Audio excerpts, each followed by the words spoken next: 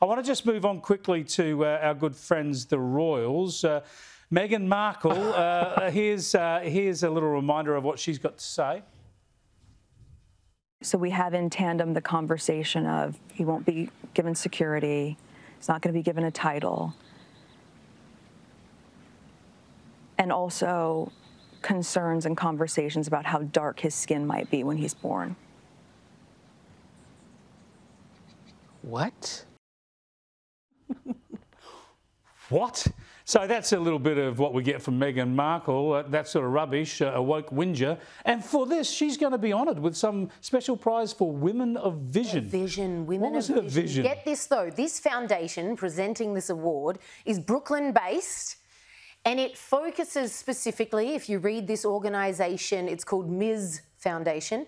If you read their, their reason for existing, it focuses solely, or almost solely, clearly, because Meghan's included, on women of colour who are living in poverty.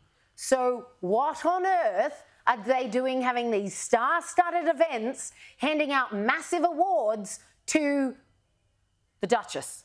It's an embarrassment, Do isn't it? Do me a favour. Justin, just an embarrassment, isn't it?